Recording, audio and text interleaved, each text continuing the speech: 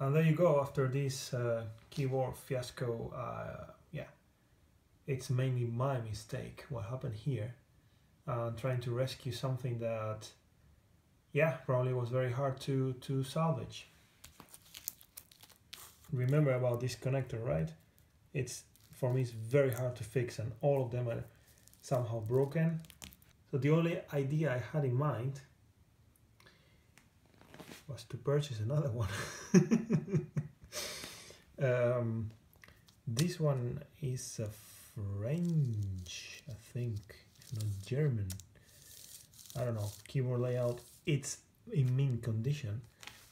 Probably had some issues with the also with the same uh, keyboard with the dielectric, and someone got I don't know a bit impatient when opening this guy because yeah.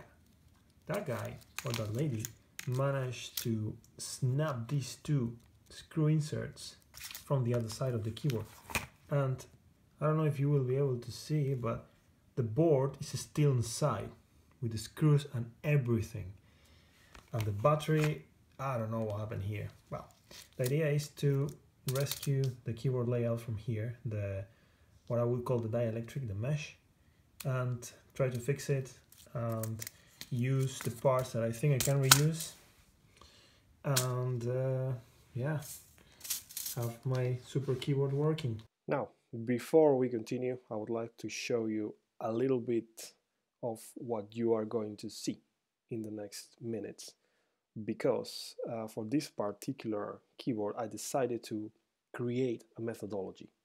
Here in front of you you have the summary why? Well, my aim was basically to understand and fix the problem within the keyboard mesh without the need of separating any layer from this membrane. Uh, the observed issues right away, straight out from the box, was that the return plus the right shift plus the space bar don't work at all. And then we have a strange behavior.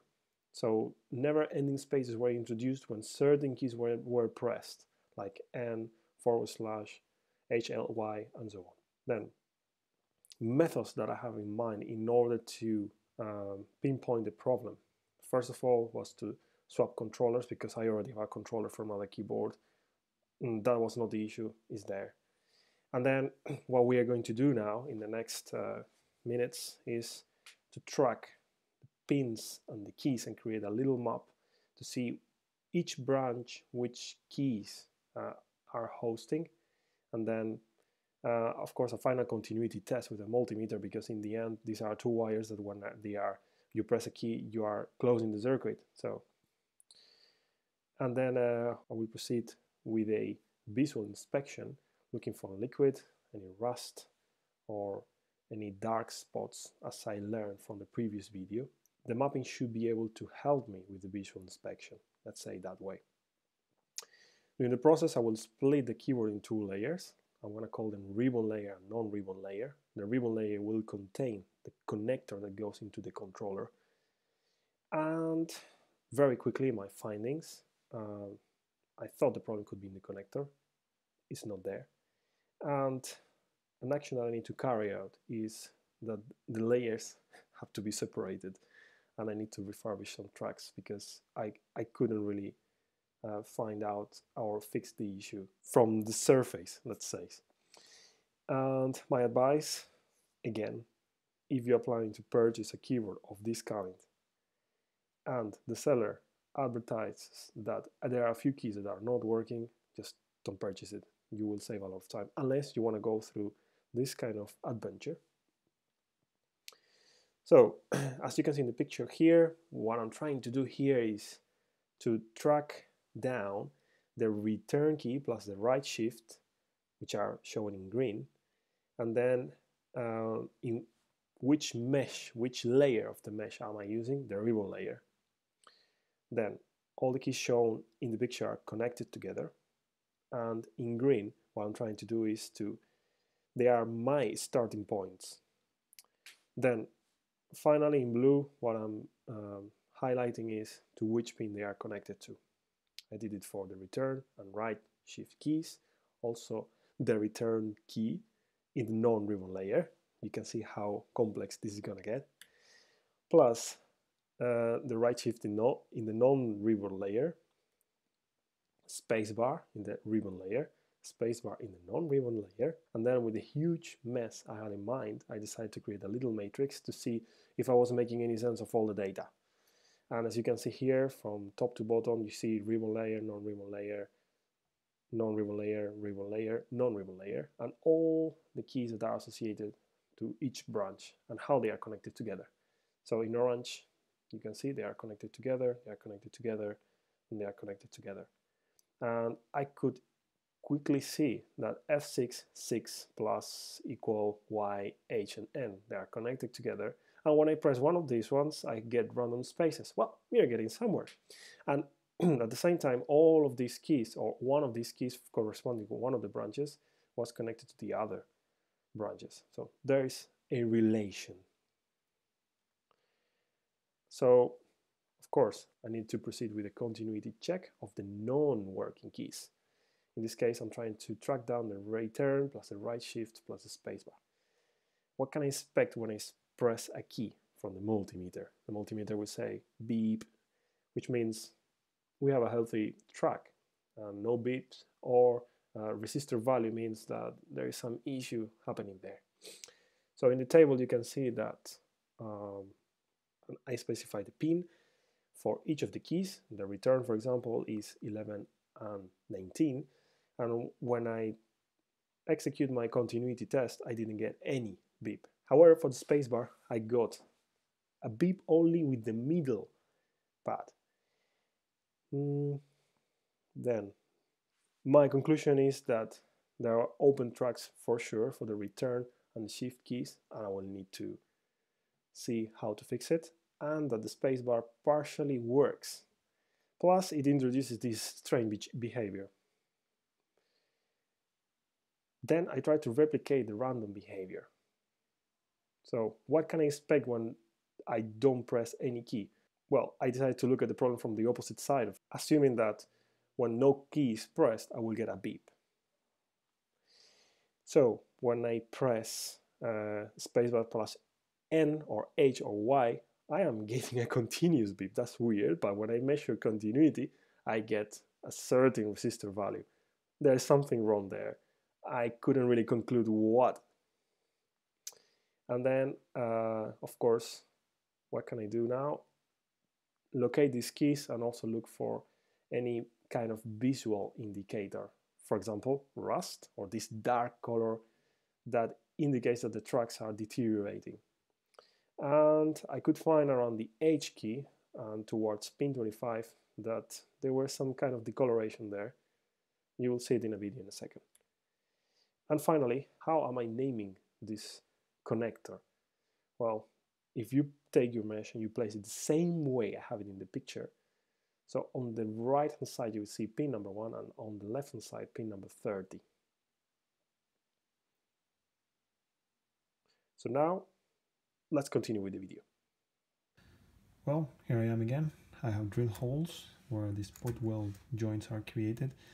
I have used between 2 and 2.5 millimeter diameter drill bit. now I have to remove all the keys and also this butterfly mechanism from all of them, otherwise all the three layers of the uh, keyboard are stuck together. So let's get to it. I am here with my setup checking the spacebar and the continuity between pins 22 and 25. So if I press here, this is supposed to be the spacebar. Perfect. What about the, uh, the sides? No, it doesn't work as nicely. Now checking the return key, pins 11 and 19. You have it here, okay? Just watch the multimeter. There's a resistance. This key here is supposed to be the N, right? When I press it, you get this and like 60 almost 67 ohms resistance which is weird but if I play if I press the spacebar and N we got full continuity, which I think when I do this, I'm doing a spacebar. So yeah, there must be some track connected here. Okay, now with pins 16 and 25, it's supposed to be Y, so this one, you can hear it. Same value, well, roughly same value.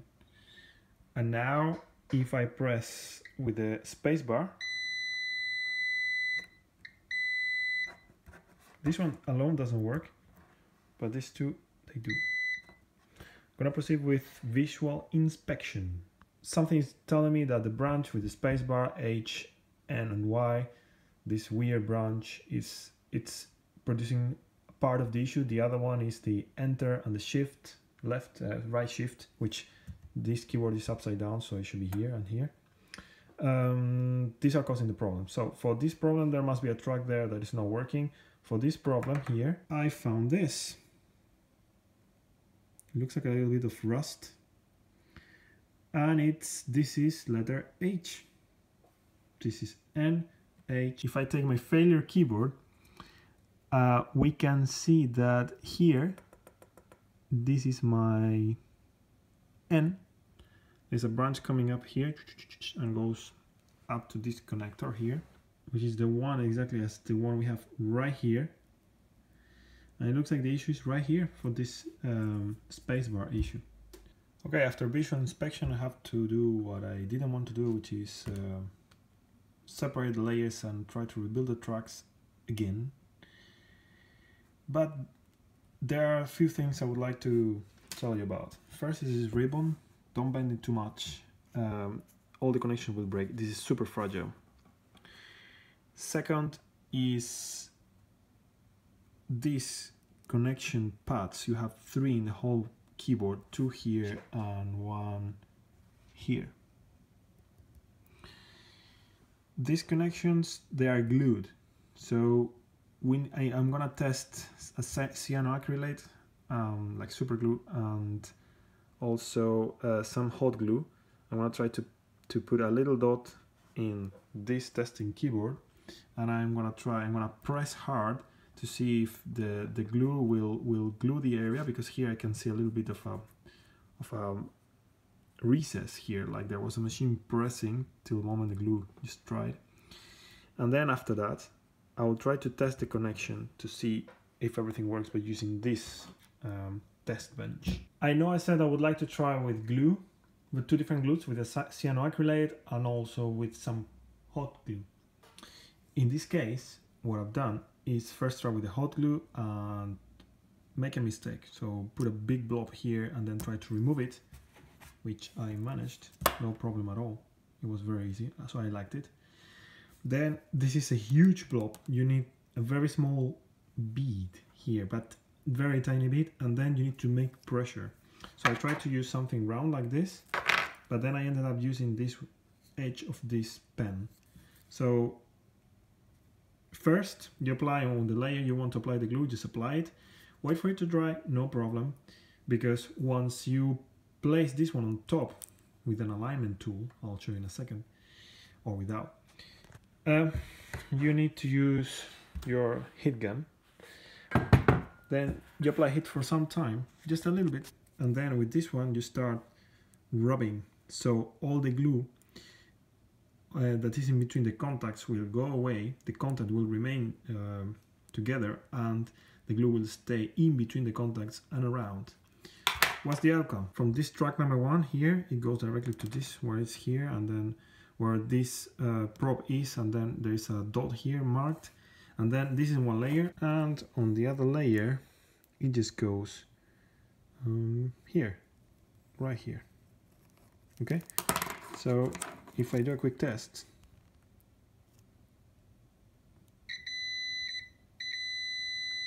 we do have a method. So I'm more confident now.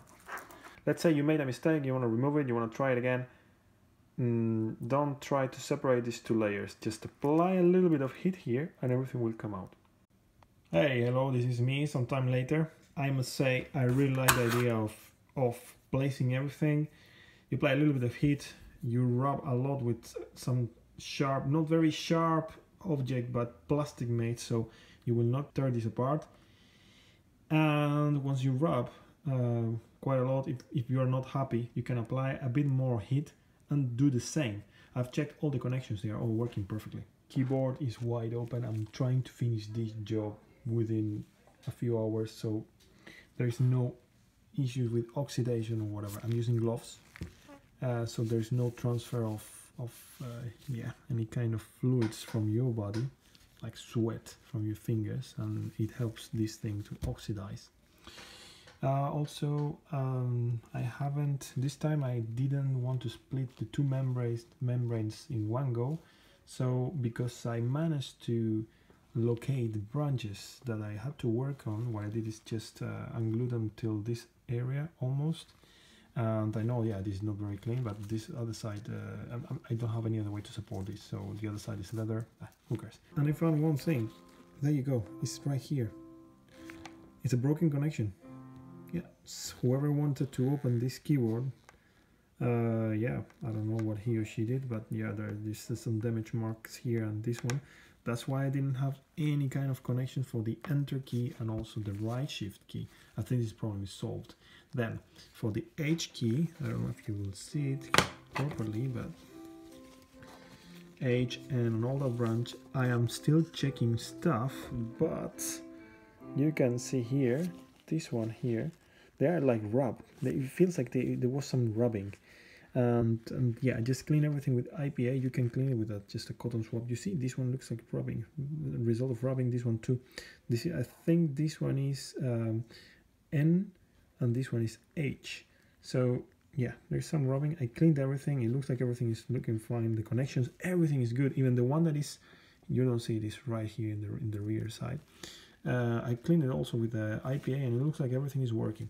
Now I'm gonna check all the branches as I showed you before, and then I'm gonna proceed with a proper test. Okay, I have finished checking almost everything except the FN keys because I know they are working and I checked that before and they are all still mm, mm, let's say uh, manufactured glued so I'm gonna leave it like that the rest is all working and I'm glad I found all the mistakes. I didn't fully split these two membranes you need to be very careful with the rim connector which is below here. Um, actually I can do this. I can show you. Very careful with this connector. Once you bend it 90 degrees you break all the connections. Don't fold it. Don't even bother. Um, so in my case, everything is well aligned. I just need to press it nicely, put these uh, two glue uh, beads here, press a lot, and that's all. All right, time to apply some glue. Look how I do it. Just a little dot. And forget about it. And here is the same. A little dot.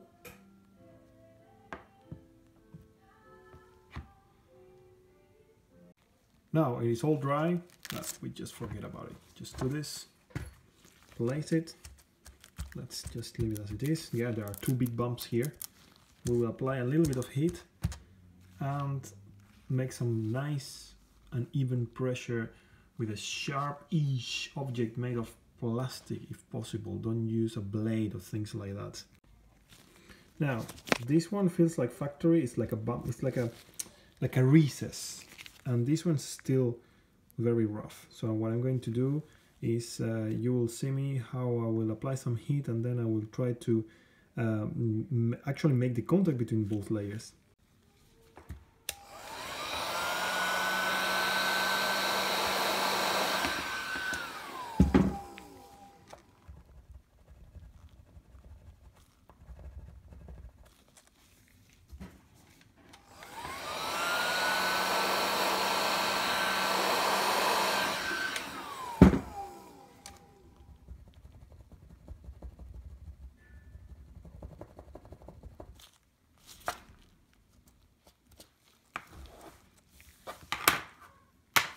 For a test.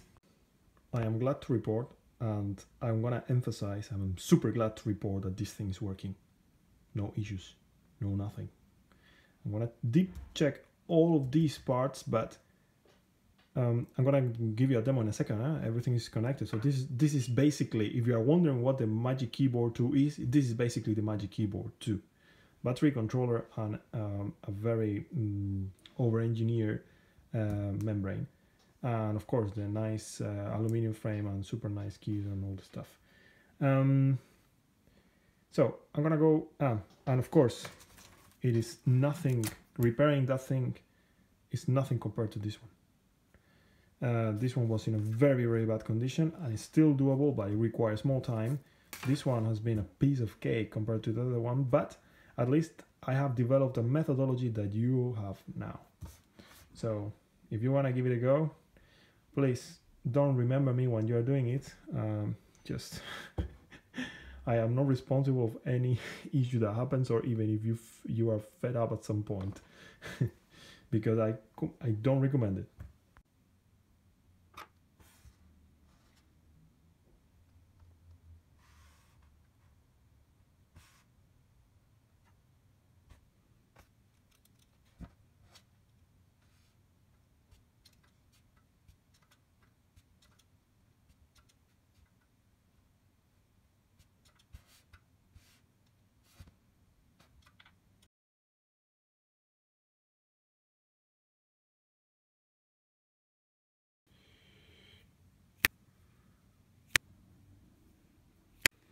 Here I am with the first key of the whole set. I know this is bumpy, but it's okay. It's just overall deformation.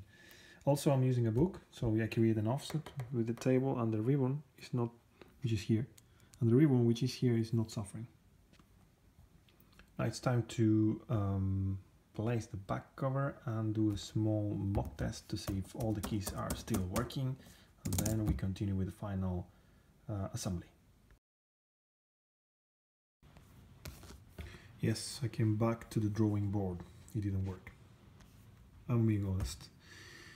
Some of them worked and the rest didn't work after I placed all the keys, so I have to go back and redo this again. What happened? Well, I was using, as you remember, like a sharp but not very sharp object made of plastic so I could create a little bit of pressure here and then remove the glue from these little fingers um, so it could have, you could have a a good contact. However, when I tried to remove this uh, layer again, you could see that the glue was all over the place, but here, so here there was a bubble because I pressed too much. So I have to find a way to, at the same time, press all these little tracks here and make sure that the glue dries around it, but not between the top and the bottom layer. In the end, this is my second fiasco, even though I must say I was very, very, very close, as you saw, that uh, to make everything work. And it looks very promising. Few tips if, if you're gonna try this because I already give up. I think I need to move on on something else, but I know how to fix it in the future. So focusing on these pads here, which is I would say the main concern, the rest with the conductive ink should be fine once you apply glue and you need to make some pressure, you could develop a tool or you can buy a comb for animals. And the spacing, I figure, is very similar to the spacing you have here. So if you modify that comb, you could press and at the same and at the same time ensure that the glue is removed from these tracks. On the other side, you could use something like this tool. I just curved this slightly so you can see. So what you do is you apply the glue, some heat, and then you, you rub up and down a little bit, or you just need to make a connection. So if you press a little bit and you ensure that there is a section of that connection that is going, is going to be actually connected, so conductive, that's it. Last tip is, what was the main reason why I gave up here? Well, I applied glue too many times here and I had to remove it too many times to the point that as you can see here the tracks disappeared. I tried to rebuild the tracks. Then there, the spacing is very, very, very narrow. So yeah, I mixed tracks and everything got unglued and then we glue on top. It was just a mess. So you have, I would say, two to three trials, otherwise trash it. Now, how would I have proceed in order to assemble this part back? This is going to be my mainframe. Assuming that we have the mesh here with all the keys inserted already, you just put it upside down like this. I'm gonna just remove this part because it's gonna be okay. you just put it this way. Uh-huh. Yeah, but before everything was spot welded. Now what do we do? Well, you can use either um, hot glue, a bit per hole, should be fine, and on the edges too, a little bit, and remove the excess, the burr itself, or you can use epoxy. And yeah, everything will be kept in place literally forever. So the only issue I have in mind with epoxy is that if something else happens in the future, well, you will need to buy a new keyboard or because epoxy most of the times uh, will be unglued at around 250 degrees and by that time all of this rubber is gone. So what about reliability? Yeah, reliability depends on how good the technician is, I would say. Okay, after this one, the rest, so this part here, which is now against plastic, it's all glued and uh, you can see here a little bit of glue. I think you can skip it or you can apply a little bit of double-sided tape here and that's it. If not, you are not happy, apply some hot glue. I'm gonna apply a little bit of heat on top. That's gonna do the job. And for the bottom case, it's going to be exactly the same. Having said this, I'm gonna close this project here and see you in the next one.